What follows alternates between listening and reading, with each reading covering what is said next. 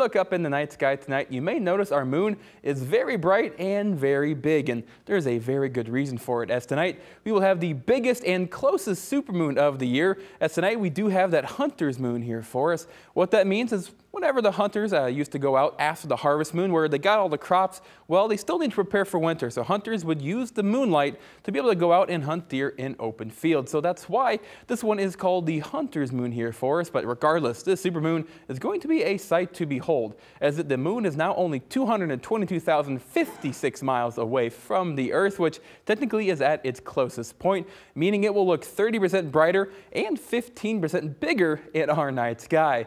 And if you're a fan of these supermoons, do have some good news as we will have one more November 15th as we'll have the Beaver full moon. But after that, that is going to wrap up our supermoons for the year of 2024 as the moon's orbit will start to stretch out as it is in a oblong shape, meaning eh, we're not going to see it as big or as bright. Regardless though, we're going to have clear skies tonight, very favorable viewing conditions, so grab that jacket, go outside and enjoy that bright and beautiful moon.